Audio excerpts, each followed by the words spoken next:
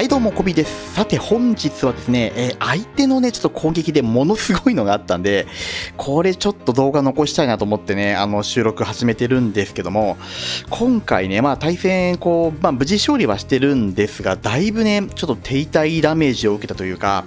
えっ、ー、と、タウンホール13のまあ中盤からカンストぐらいの防衛力のある、あの、配置に対して、タウンホール12の、まあ、ヒーローもカンストしてないようなね、えー、相手から、まあ、結構古典版にやられてしまったというね、ショッキングなことがちょっとありました。で、えー、それをね、ちょっと今回皆さん見てもらいたいと思うんですけども、まあ、あのー、話は、えさておき、これですね。ライドララッシュなんですね。で、えーと、呪文編成としては、えー、レイジ4個にフリーズ5発と、まあ、いうところで、うんまあ、攻めと守りの呪文を半分ずつ持ってきているような、まあ、そんな感じですね。で、えーと、ロックボマーを持ってきていながら、えー、バーバリアンキングのレベル見てほしいんですけども、レベル59と、まあ、いうことで、えー、カンストまだしてない状態ですね。アーチャークイーンはこれはカンストしているかなと思いますけども。で、えーまあ、相手の攻めてるこの配置、大五郎さんの、えー、村になるんですけども、うんまあ、投石機は1個しかないのかな、なんですけども、まあ、あのどう見たってこれ、タウンホール、えーと、13の、まあ、序盤からまあ中盤に差し掛かるぐらいの、まあ、防衛力はあるかなと思います。ロイヤルチャンピオンもね、レベル15で、えこういますんでね。で、これをね、あのこのアタックで全開取ってちゃうんですね。まあ、のライドララッシュって、えー、まあまあ星2を確実に取りながらワンチャン全開までいけるようなあのイメージで、まあ、結構格上攻撃の、まあ、代名詞的に使ってる方が多いと思うんですね。まあ、それは、えーと、日本クランだけではなくて、まあ、海外のクランで特にまあそういう、えーと、傾向が顕著かと思うんですけども、まあ、それにしてもね、今回のこの相手、あの BD、えー、ターえっ、ー、と、タイガーズさんかな？ビリタイガーズさん。えっ、ー、と、バングラデシュのクランだというふうにまあ思うんですけど、確かそうかな。なんですけども、まあ、このね、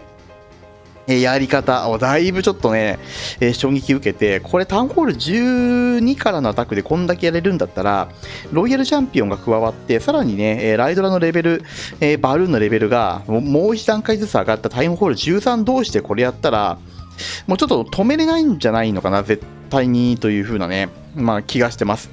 まあ、私もちょっとまだ現時点ではライドラのレベル上げきってないので、あのレベル、えーと、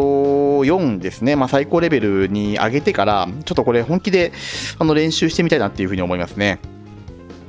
あのまあ、これからちょっとね、もう一回このリップ流しながら、えー、どういう、まあ、ところがね、ポイントかっていう点、まあ、細かいところを押さえていきたいと思うんですけども、まあ、それをしてもう一個ですね、えー、私の村があの前回寸前まで、もうほんと寸前97%ぐらいかな、までやられたんで、まあ、それ見てもらって今回は終わりにしたいというふうに思います。いやー、ショックですね。あの、それにしても。ここまでね、ライドラにコテンパンにやられちゃうっていうのは、おそらくですけど、まあ今の環境だから、まあ起こり得るのかなっていう、まあ気はしますね。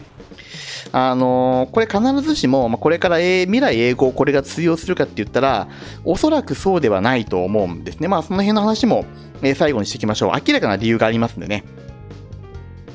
さあ、で、えっ、ー、とですね、こちらアタック細かいところを見ていきたいというふうに思うんですけども、まずここですね、ライドラでしっかりとこうチェーンを入れてカットしていきます。こっち側も同じですね。ライドラでカットしていって、ドーンと真ん中にライドラを、えー、ここにね、向けて、えー、集合させていくという感じですね。ライドラを。で、えー、ガツンとこういう風にまあくり抜いていって残りをヒーローと、まあ、いうようなまあ簡単なプランニング説明するとこんな感じになるんですけどフリーストレージをね、まあ、今回の攻めではなんですが序盤で、えー、ふんだんに使ってます、まあ、あのレージってね残り、えー、と4発持ってってますけどここと、まあ、この辺っていうね、2箇所でしっかり使えればいいわけなんで、え序盤のサイドカット、ライドラ1体にレイジをかけることによって、きっちりとむしろそのカットをね、え行うことを優先するっていうのが、まずこの戦術の特徴です。で、ライドラをこう密集させたまんま、中心に向かわせるんですね。そうすることによって、レイジ一発一発の効果がより乗っかると、いう理屈ですよね。まあ、こんな形です。ライドラがしっかりと全部ここに向かってこう、向かって歩いてきてるのがわかると思いますね。ちょっとまあ上にずれちゃってるのがいるかな。まあその後下にこう戻ってくるって感じですね。で、えー、まあ、こんな風にして、えー、ライドラのチェーンで中央部分をくり抜いてさえしまえば、あと外周部分ですよね。えそこはアーチャークイーンで射抜けるので、うんと、バーバリアンキングを縦にしてアーチャークイーンで射抜くという、まあ、えー、形が出来上がるというところですね。で、えっ、ー、と、フリーズの呪文を使うポイントなんですけども、えー、ギガインフェルノ、あと、えー、エアスイーパー、イーグル砲、えー、あと透析機ですね。で、あと対空砲もそうなんですけども、まずギガインフェルノにはもうほぼこれ確実に使っていってますね。で、えー、っと、あと、イーグル砲、これも、えー、対数が少ないライドラをしっかり活かすためには、えー、っと、イーグル砲に、えフリーズを使っていかなきゃいけない。っていうところで、えー、このイーグル砲の周りにある、えー、主要な防衛施設を巻き込みながら、えー、フリーズ使っていくっていうのが、えこのね、呪文の使い方の特徴です。で、刺さる配置っていうのがね、多分これあるんですね。で、ちょっとこのね、アタックもう一回ちょっと最後までこう、流していきながら、配置見つつ、その辺を説明していきたいなというふうに思うんですけども、うーん、やってみたいですね。あの、すごいこれ自分でやってみたい。まあまあちょっと、えー、説明しますね。まずですね、この攻めをするポイントとしてすごい重要なのが、施設のこの部分の距離ですね。こういうところ。まあこういうとこもそうかな。これもそう。何かっていうと、1マスの隙間でチェーンが通りやすい。これなんかみんなそうですよね。チェーンが通りやすいこういうところも。あのー、密集施設に対してとてもよく刺さるというのがまず大前提です。まあこれはライダーを使う上なんで、もう必ず言えることなんですけどね。密集。で、さらに2つ目としては、えー、しっかりとサイドカットが行えて、今回言ったらこことここですよね。カットがしっかり行えて、ライドラを密集させて、えー、と真ん中にこう向かわしていけるような、えー、そういうね、えー、形の絵が描ける配置。まあ、これが、えー、2つの条件です。で、さらにもう1個言えるのは、これイーグル砲。さっきも言いましたけども、イーグル砲のダメージって、ライドラに対してはかなりまあ痛いわけですよね。なんで、これを固めていくんですけども、固めていた時に、周りの主要施設を一緒に巻き込めるような、えー、配置になってるとすごくいいんですよ。まあ、今回で言ったら、えっ、ー、と、この辺のエアスイーパーこれ一緒に巻き込みますよね。まあ、こんな格好ですね。多分、投石機までは巻き込めないかな。けど、まあ、ここって、まあ、やろうと思えば、この、ね、クロスボウと、あちょっと見にくいか。クロスボウと対空砲と、えっ、ー、と、投石、投石機。これ3ついっぺんに1個のフリーズで巻き込みますよね。なんで、ここと、あとまあこの辺にこうフリーズかければ中央のコアイシスががっつりこう抑えられちゃうっていう、まあそんなようなフリーズの、え、効果的な使い方ができる配置に対しては、え、このライドララッシュめちゃくちゃ刺さるんじゃないかなって思うんでね、えー、まあ自分が配置作るときには要注意、まあ見かけた場合にはぜひね試せるように練習しておくといいと思いますね。さあ、ではね、えー、ちょっと私も、うん、この攻め実はやられちゃってまして、それをね、えー、皆さんに見ていただいて、まあ、本日の動画は終わりにしたいというふうに思います。これ97%ですね。まあ結論としては残ったのは、まあここなんですけど、ここと、こことあとこの辺かな。まあ主要な防衛が残ってるとはいえ、97までね、このレベルで持ってかれちゃうっていうのはもうまぐれとは言えないような気がしますね。はい。で、えっと、私の配置もそうですよね。えっと、ここのところ、あの、イーグルと、えっと、エアスイがいっぺんにこう潰されちゃうっていうことだったり、あとは、まあ、透析機のところを見てみると、まあ、透析と、えっと、まあ、イーグル、あと対空砲、これも近いですよね。こういうところにそのフリーズを非常にかけやすいような配置になっちゃってるんで、えー、ライドラをまとめて落とせるようなね、施設っていうのが、まあ、だいぶ、うん、少なくなっちゃってます。にしてもですよ、一応これギガインフェルのレベル5だし、えー、ウィズ島だってね、こうレベルマックスにしてるし、えー、クロスも全部上向いていて、で、これ1個あれクロスこれレベルマックスじゃないのかな？えっ、ー、と、まあでも基本確かクロス全部マックスにもうほぼなってるようなレベルなはず。投石もレベル2なんですよね。で、イーグル砲も当然レベル最大。これを、こんな風に、まあ今言ったようにフリーズガンガンかけていきますよね、こういう風にね。えー、主要な防衛をまとめて凍らせると。で束にした、えー、ライダーをしっかりとレイジーに乗っけて中央で、えー、チェーンを、まあ、レイジーに乗っかったチェーンをねこう出していくっていうねまあ、それができる配置に対してやっぱりこれが戦術としては刺さるというところですね。で、えっ、と、さっきですね、えっ、と、ちょっと私、あの未来英語これが続くわけではないって、まあ、いうようなことをちょっと、あのお話ししたんですけども、まあ、私のこの配置をね、まあ、見ながら、えっ、と、まあ、それがなんでかっていうね、ところをもうちょっと深掘っていきたいと思います。まあ、さっきのね、大五郎さんの配置見ながら語ったところっていうのは、うんと、しっかりと、えー、序盤、ライドラをまとめてね、えー、中央に送れるサイドカットがしやすい配置。まあ、私もそうですね、ここやられて、まあ、ここやられて、ガツンとライドラがこうね、入ってきてしまうような、えー、こんなようなね、絵が描ける配置がまず重要。さらに、えー、壁の、なんていうかな、えっ、ー、と、中の隙間っていうのがほとんどない。まあ、密集してますよね。これもチェーンがめちゃ刺さりやすい、え配置の特徴的なものなんで、まあ、これはね、えっ、と、ライドラにはまあ、うってつけのかも。あとは、えまあ、この動画流しながらも言ったように、主要な防衛施設っていうのを、まあ、フリーズ1個でしっかり凍らせられる。まあ、そのね、え距離が近いような、例えばその、投石とイーグル砲の距離が近いとか、エアスイーパーの距離が近いとか、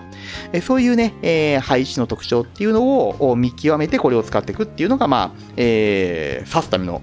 ポイントになるんじゃないかなというふうに思います。うんまあ、これ、ロイヤルチャンピオンがもしいたとしたら、まあ、耐えきれませんね。このロイちゃんが、まあ、レベル15ぐらいでいたらもう多分やられちゃってんじゃないかなっていう感じですね。まあ、そもそも、まあ、ライドラのレベルがね、これでもレベル3でやってるんで、まあ、めちゃくちゃだなっていう気がするんですけど、はい。で、えっとですね、配置の特徴と、あと防衛援軍の特徴っていうのがあります。えっ、ー、と、未来英語を使えない理由っていうのはね、なんでかっていうと、まず、えっ、ー、とですね、この外周部っていうのに割と、えー、外周部っていうのも、その外周のこの壁の中、まあ、こういうところですよね。あー、ちょっと見せたな。えっ、と、なんて言ったら、こういうところ、壁の一層内側のこういうところ見てほしいんですけど、こういうとこかな？この辺？こういうところ。よいしょ。あ、うまく書けないな。こう。こうです。こういう壁の一層内側のところって見てもらうと、まあ、そんな強い防衛施設がめちゃくちゃあるわけではないですよね。クロスポーとかそういうのって、割とこの中心部のここに集まってるじゃないですか。まあ、投石もそうだと思うんですけど、アーチャークイーンとかね。なんで、えっと、中央をライドラのチェーンで制圧ができちゃえば、外周部そんな火力高くないよっていうのが、えっと、最近のまあ配置のまあ一つの傾向になってると思うんですね。で、さらに、対空砲。あの壁の割と中央になくって、うんと配置の中央か、えー、壁の割とその外周部の方に置いてあるケースってやっぱ多いですよね。まあ、すえーと、ラバルなんかをね、するときに、まあ、中央でバルーンを、えー、落とすために、まあ、こんなような格好を取っている配置多いと思うんですけども、これ実はあのライドラからするといいんですよ。この対空砲、例えば、まあ、こっちから入ってきたライドラっていうのは、今、えー、タウンホール側からね、えー、9時から入ってきたライドラは、この11時とか、2時の対空砲なんて、ほぼ、えー、無視状態で、えー、中心部まで来ちゃいますよね。これをライドラからすれば美味しいですよね。ダメージそんなに受けずに中央に入っていけちゃうんで。こういうことができる、そのような配置に最近の村ってなりがちなんで、まずそれが、えーえーと、ライドラを延命させて、活躍させてしまう、まあ、一つの要因になっているというところ。あと、イエティとディガホクっていう陸戦術が強すぎるんですよ、今。本当に強い。あの、こればっかしみんなやってるんで、必然的に、えー、スケルトントラップは陸になりますよね。で、さらに、まあ、食い火をやらしたくないからって、アイスゴーレム3体とか、えっ、ー、と、ラバハウンドとか、そういう防衛援軍を入れる方が本当に増えてきてる。で、今言ったこの2つの防衛援軍っていうのは、ライトニングドラゴン呼び出しませんから、あの、呼び出す前にライダーのチェーンで、これクランジを壊しちゃうんですよね。そうすると後から出てくるヒーローが、まあ、付近通っても援軍出てこないっていう援軍スルーができちゃうんですよ。なので、なのでですよ、あの、最近のね、えっ、ー、と、傾向からしての、えー、防衛援軍、ライドラ全然無視できちゃうので、えー、序盤のライドラパートっていうのがさらに伸びてしまうというね、この辺のポイントっていうのがあります。まあ、配置の特徴、スケルトントラップの陸っていうところ、あとは、えー、防衛援軍が、まあ、陸じゃないと出てこない援軍になっちゃってるってところですね。まあ、加えて言えば、まあ、陸の、えっ、ー、と、まあ、対地のクロスボウなんかも増えてきてるんで、まあ、対空が弱くなってるっていうのは、まあ、相対的にありますよね。まあ、そういったところをついての、えー、この攻め方だと思います。なのでね、あの、また空が復見してきた場合に、とかまあ、今の陸のイエティとかね、ディガーが、まあ、下方修正さらに受けて、弱くなってしまったなんていう場合には、また空に対する防衛がね、厳しくなってきて使えなくなるかもしれませんが、この陸全盛期時代だからこそ輝く、まあ、超絶ライドララッシュ、まあ、というところなんじゃないかなっていうふうに思います。これはね、ぜひぜひ、あのー、みんなが陸やってる隙にこっそりね、ライダーのレベル上げといて、あのー、こういうね、まあ私みたいなカモにできる村見つけたら、もうもうがっつり取ってやってしまったらいいんじゃないかなっていうふうに思いますので、ぜひね、ご参考にしてもらえたらというふうに思います。というところで、本日の動画終わりにしたいと思います。よろしければグッドボタン、チャンネル登録、そして今後もご視聴どうぞよろしくお願いいたします。ぜひね、皆さん関西クラクラクラブにも遊びに来てもらえたらなというふうに思いますので、今後ともよろしくお願いいたします。ではまた、えー、次の動画でお会いいたしましょう。バイバイ。